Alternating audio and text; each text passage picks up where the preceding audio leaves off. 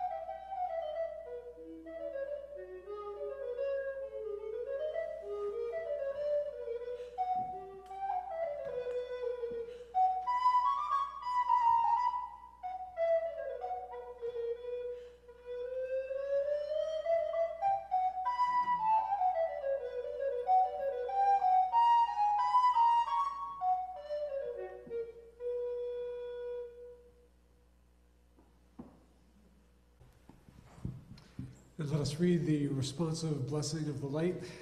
that you'll find printed in your order of worship. In Christ was life, and the life was the light of the world.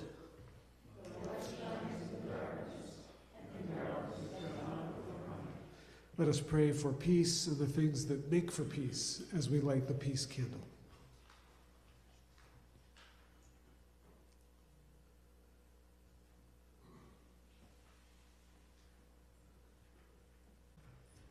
Good morning. Welcome to the United Church of Strafford on this seventh Sunday of Easter, uh, which is the last Sunday before Pentecost. Pentecost coming next Sunday. Um, and welcome to those of you uh, in the sanctuary and also those of you who are online. Uh, we acknowledge that we are on the ancestral and unceded land of the traditional caretakers here, the Western Abenaki or Wabanaki people. Our congregation has voted to establish a reparations fund for the hardships that they have had to endure from colonial times unto this day. And we give thanks for the opportunity to share in the bounty of this place and the beauty uh, and to protect it in the spirit of indigenous wisdom. The Great Commandment says uh, we are to love our neighbor as our own self, uh, our neighbor meaning everyone and all creation. Um, we are to love as Jesus loves. This is the most essential calling for humanity, this love, if we are to create a world that is sustainable uh, and just and nonviolent. But loving our neighbor as ourself is impossible if we focus on all the ways that we are different or ask whether our neighbor is worthy of friendship. If we are going to love one another as Christ loves, then we need to see one another as Christ sees, looking with compassion, seeing our oneness, seeing the same Spirit in all. We try to practice that oneness vision in this church. Uh, and if we can learn to do it here, we can become instruments of peace out there. So please uh, do this practice again today. Um, linger after the service to extend your care and uh, your support, especially to those you do not know well or those who seem most different from you, so that we may all be one. Uh, please see the announcements in today's bulletin. Um, if you are online, you can find the bulletin uh, at, in the menu on the top of the uh, welcome page of our website. Um, immediately following the postlude today, we will remain seated in our pews uh, for a congregational meeting to which all are invited, um, including those of you on Zoom. Uh, we expect that it will not take long. There's only one item on the agenda, um, and you can find the meeting described in, uh, in the bulletin. Um, and afterwards, after the meeting, we hope that you will stay for refreshments and the pleasure of neighborliness in the parish hall through this door. Um, and for those on Zoom, please say hello to one another and uh, after the service, and I'll get on the laptop as soon as I can to, uh, uh, to visit with you. Are there other announcements that need to be made today? Not seeing any. And not on Zoom either. Um, many, uh, many religions have located a, um, a spiritual heart within us uh, where we know things in a completely different way from thinking rationally with just our head. When Jesus said, Blessed are the pure in heart, for they will see God, um, he was talking about the spiritual heart that experiences the presence of the Spirit with, uh, with, within us and, and all around us. Um, this heart is the source of our intuition uh, and creativity and sense of all creation being one. Um, to have a pure heart, then, is to remove whatever distracts us or holds us back from knowing in that spiritual and creative uh, way. So let us open our heart uh, to the presence of the Spirit and the vision of God in all things and all things in God um, as we worship together today. Um, our reader is Deacon Debbie Ritchie. Please join me in the responsive reading found in your bulletin. No one can serve two masters. You cannot serve God and mammon.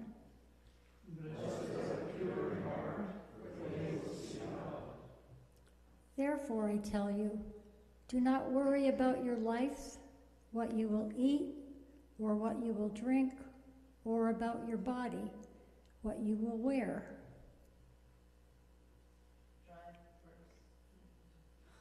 What, what happened? Something happened? Oh, here we go. They will see God. So now, wait a minute. Oh, we miss, okay. Let's start over again. How about that? And I'll use this, is that all right? Well, no, that was, that was actually the word. I think, I you're right. Uh, Yeah, you're, you're right in, in this one, the, the bullet is missing Oh. one. Oh, I see. All right, So, uh, you know, pure in heart just goes with the flow and, you know, we just accept what we, you know, our imperfections. Okay, so, okay, So I'd say just pick up, uh, pick up and strive first. okay, thank you. Strive first for the realm of God and its right way of being, and all these material things will be given to you as well.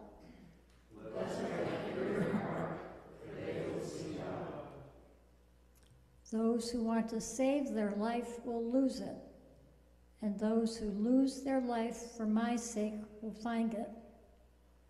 What will it profit them if they gain the whole world but forfeit their life?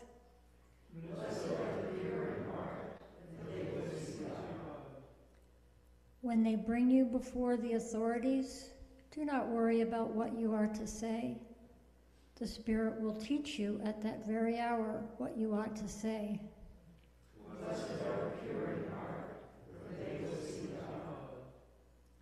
Unless you change and become like children, you will never enter God's realm. Whoever becomes humble like a child is the greatest in the realm of God.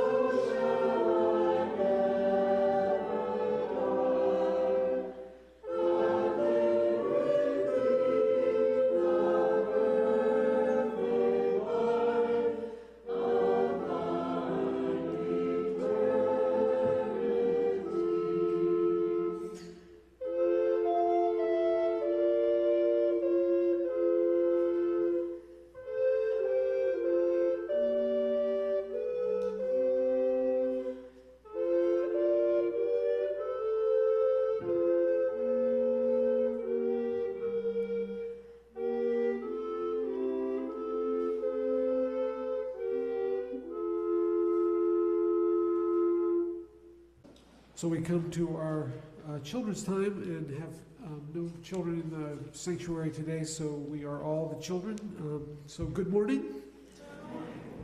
Uh, Jesus, Jesus promises that if we love and follow his way, uh, we will find in us the same spirit that was in him, and it will comfort and guide and empower us. So next Sunday is Pentecost, um, when that uh, story, when that spirit, the story is that when that spirit came upon the first church, uh, it, it arrived in a really big way, um, and and uh, they were filled with that spirit, um, and it happened in large part because they were prepared for it. They had prepared themselves, and we can prepare ourselves to receive the spirit or to find the spirit in us too. And one way to prepare is to have some kind of idea or you know some concept of what the Spirit is. And we all do this in our own way. Um, and the Bible is full of, uh, in all scriptures and holy readings and, and uh, literature and art, they're full of, of, uh, of ways of coming at the Spirit. And one of my favorites is, I, you know, I find it helpful to think about uh, the earth on a certain day over three billion years ago. Uh, and when that day began, everything was just bare rock or lifeless water. Uh, there had never, ever been a living thing on earth. Never. But by the time that day ended, a single cell had suddenly sparked to life. And that, to me, was the Spirit at work. Uh, more complex communities of living cells kept evolving over billions of years until human brains came into being with the most complex thing that we know of uh, in life. Um, 100 billion nerve cells creating one quadrillion i'm not making that number up one quadrillion uh, synapse connections. Imagine i mean it's unimaginable and it's a lot. That's big. It's a big number. That was the same spirit to me of love and life and light at work. Um, always creating more love and life and light. Um, and today, that spirit wants to heal and restore habitats that have been damaged and, and conditions that are necessary for life to, to thrive. It wants us to love and care for one another um, especially for the most oppressed and vulnerable of, of humans and the least of creatures. The Spirit wants to create what we call, or I call, God's realm on earth, God's realm of justice and peace and compassion. So it leads people to think and see and act more like Jesus. This is where I see the Spirit happening. And we can prepare ourselves to find that Spirit in us by first just believing in its existence and, and deciding that, that we are on its side um, and seeking to be guided by it and to serve it. So, on that first day of Pentecost, when the Spirit came blasting in, um, and the first church sparked to life like, a, like the single cell, um, the followers of Jesus remembered from the Hebrew scriptures the prophet Joel saying, In the last days it will be, God declares, that I will pour out my spirit on all flesh, and your sons and your daughters shall prophesy, and your young men shall see visions, and your old men shall dream dreams. So, another way we can prepare to find this spirit uh, is to listen to listen to one another, especially to youth, um, and to heed our visions and our dreams. If we listen, we may hear what words or actions the Spirit is moving us each in our heart to offer to the world. And who knows what will spark to life through that. So, uh, we have a tool that uh, a spiritual practice that can turn our listening heart to the Spirit and open it wide. And we all know that it is prayer. Um, prayer, especially when we listen more than we talk. So let us pray together the new version of the Lord's Prayer that you'll find on your printed on your uh, pew card. uh, in, or on the screen share. Um, so uh, we will pray together the, the new version of the Lord's Prayer. Let us pray.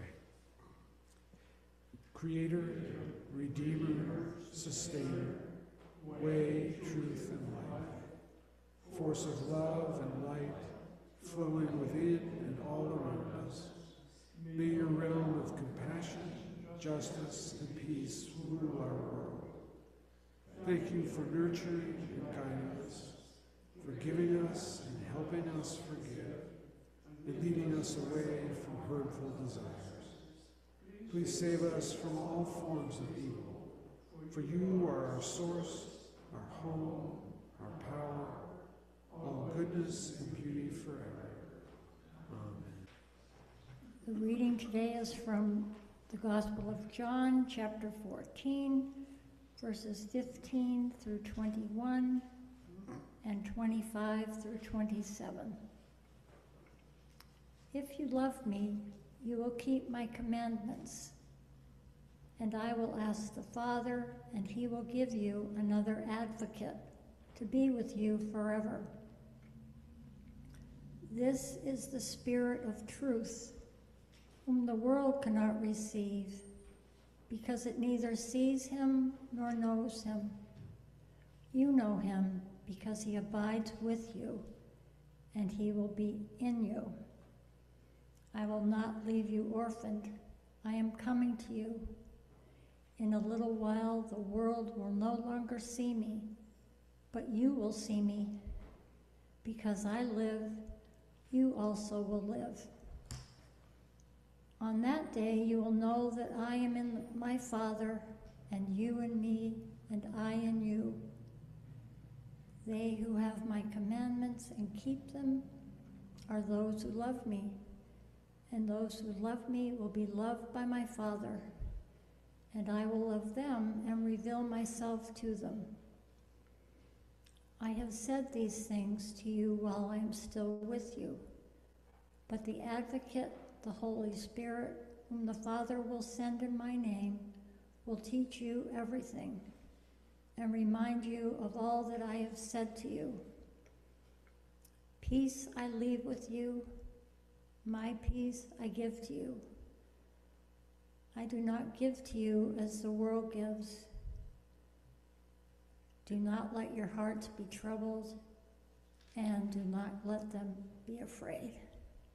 Amen. There's nothing like facing death to clarify our vision of life. Today's gospel passage is part of the farewell discourse of Jesus um, in the Gospel of John. It's spoken when Jesus knew that he did not have long to live, maybe 24 hours. Um, and this is the essential wisdom. It's got the essential wisdom in it that he urgently wanted to convey. And he's telling us that we have a calling, we have a purpose, uh, and a right path for our life. And we need to find it and follow it for the sake of the world as well as for our own sake. The language Jesus uses uh, is the language of a wisdom teacher, um, the language of the spiritual heart rather than the material head. And Jesus is telling us from his near death perspective to let our life be guided by our heart so that we will have truly lived. And the, so the question for us each is what guides our life's direction? What informs the way we think? or speak or act in every moment of the day. If we want to follow the way of the heart and the spirit to our deepest calling and a, and a purpose that transcends death, how can we find it? Just before today's passage in, in John, uh, Thomas asked, How can we know the way? And Jesus answered, I am the way and the truth and the life. And he said that the Spirit of God worked through his words and actions. Gandhi said, My message is my life. Jesus is saying, The Spirit's message is my life. My life is the map of the way. If you want to know the way, know me. If you want to follow the way, follow me. Jesus says, If you love me, you will keep my commandments. Now, his great commandments that he picked out of the Hebrew scriptures were to, to love God and to love our neighbor as ourselves. But notice the first part of what he says in this farewell discourse. He says, If you love me. In order to find and follow the way, the first step is simply to love the way, or to love the person or the people we know who embody the way. Augustine, or St. Augustine, said, Love God and do what you will. Jesus is saying, if we love him, whatever we do, we'll do it in love. So, this whole emphasis on love places us in the heart, this physical location deep in our core, which is our spiritual, creative, and intuitive center, the place in us where we experience our oneness with the Spirit and with, with all creation. Jesus said in the Sermon on the Mount, Blessed are the pure in heart, for they will see God. Well, the Danish Christian philosopher Soren Kierkegaard said, Purity of heart is to will one thing. So the sacred way is to let go of our many cravings and clingings and redirect our will to loving, to loving God and loving God's creation. Jesus says in this kind of mystical passage that, that, um, that the world cannot receive the Spirit because it neither sees nor knows it. So, in this mystical language, by world, Jesus means people who choose to live guided by their materialistic brain. The materialistic head cannot see or know the way. It requires the spiritual heart, the intuitive, creative heart. And it requires love. It requires love to see God. Jesus is looking at his own imminent death, and he is also looking at the mortal humans around him and the, and the mortal nations around him. And he's feeling great compassion. Jesus knows the way through death to life. And he wants humanity to know that way so that they and the earth can live. Through loving the way, we come to see that every step of the way, we are already in the destination, in eternal life, the life of God that never dies that is within every living being in every moment, the, the life of that spirit that sparked the first life and keeps sparking life. So we become calmer if we can trust in that. Jesus says, Peace I leave with you, my peace I give you. Do not let your hearts be troubled, do not let them be afraid. We do not have to worry about anything as long as we know the way to peace that Jesus is offering. If we know and love the way, we will look for it everywhere and we will see signs of it everywhere.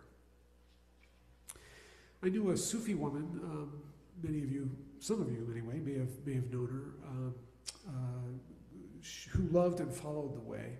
Um, her Sufi name was Zahira. Um, Susan Miller was her name. She was a musician um, in the Upper Valley for a while. Um, and that name, Zahira, that she took, means someone who sees the divine and manifests the divine, who sees it and manifests it. And Zahira uh, did that. She loved trying to trace the sacred way through life, and she loved discovering the Spirit's manifestations or epiphanies. Looking back on her life now, I see that it was not the individual signs that she found and followed that made her who she was. It was the process. It was her process of looking for them. It was her daily practice of looking at the world through a lens of love, the lens of the heart's creative, intuitive, spiritual form of knowing that made all the difference in her life. And it filled her with light, and it filled her with peace, even as cancer moved through her liver to her lungs to her brain and began taking away her eyesight at age 60. The doctors in the hospital where she spent the, much of the last month of her life said that they had never seen anyone face death with such a Zen like serenity.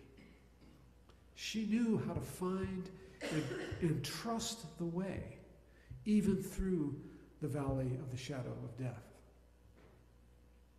If we decide to change our life according to the guidance of the Spirit that we find in our heart, and if we learn the spiritual tools we need in order to practice living from that place every day, we will reshape our lives to become increasingly full of love and peace. We will get to a place where our hearts are no longer troubled for long when we confront our death or the less extreme changes and challenges that come along the way.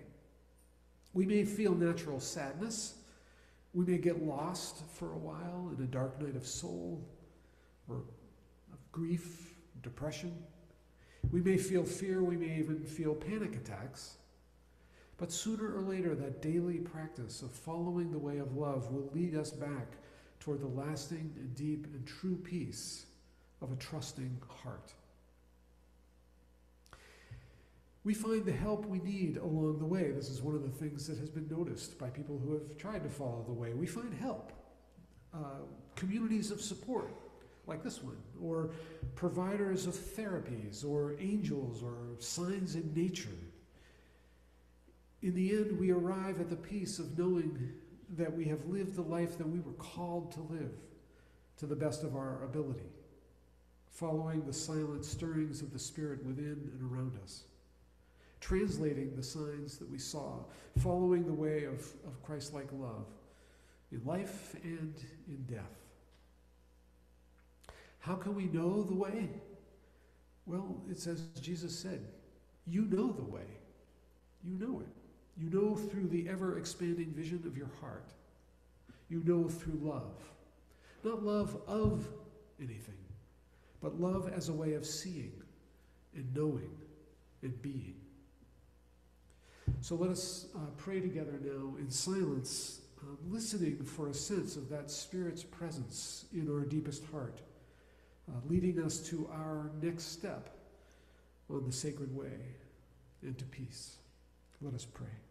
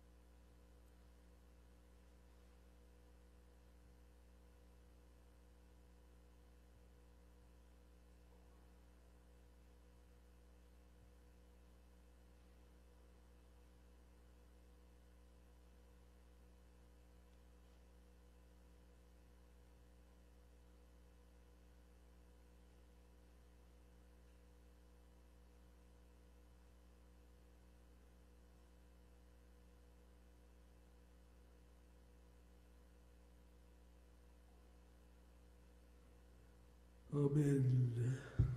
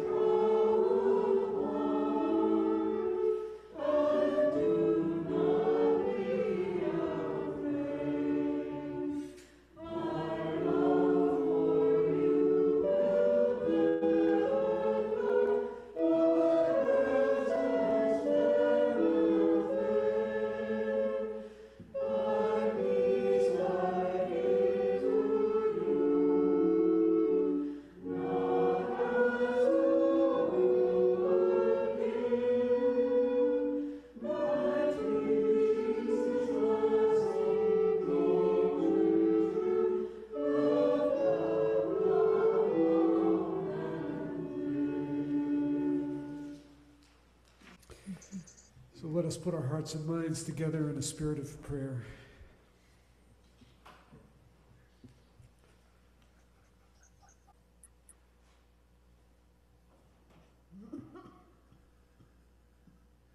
Thank you, thank you, thank you for sparking us, Spirit, into this, uh, into this sanctuary, for, for giving us the wisdom to come together and, and think and talk and feel and reflect and, and be humble, grounded, and be humble, listen.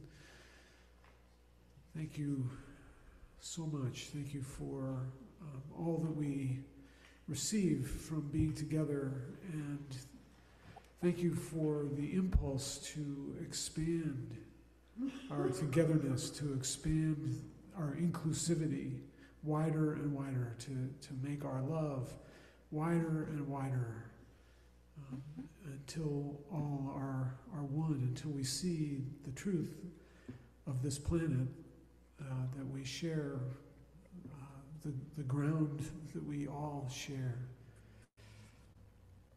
Thank you for the opportunity to go out from here and to be instruments of that peace and that justice and No, that no. compassion, that love. Um, thank you for what every person here does, unseen, unknown to us in their week on the side of the Spirit and, and love. So please be with us as we as we meet uh, today um, to take a, another step um, to decide whether we will take another step in the direction of, of taking a stand. And please guide our, our hearts and our hands, our minds, our voices. Um, thank you, thank you, thank you. In the name of Jesus Christ we pray. Amen.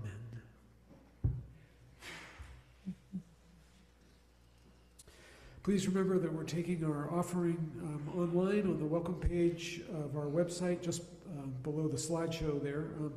Or you can send donations into the church uh, by mail. Um, in the sanctuary, we have baskets in the back that you can place your offering in. Um, Jesus said that the one who loves him will keep his commandments and do the works that he did. Well, our offering is one way to give of ourselves as Christ gave of himself um, moved by our love of God and our love of uh, neighbor as ourself, um, however and whenever and whatever we give. So now please stand if you are able for the benediction. And the, uh, the benediction is uh, adapted from the first letter of Peter. We are living in a time of great transition. Therefore, be awake and disciplined in your spiritual practice. Above all, maintain constant, generous hearted love, for that love will keep you on the sacred way through this time toward a new world. Extend extravagant hospitality to all. Serve with whatever gifts you have been given, and be good stewards of the manifold grace of God. Let the Holy Spirit be your power and guide, and God's love and life and light will shine through you, blessing you and creating the realm of God on earth around you. Mm-hmm. Go in that faith and that peace. Amen.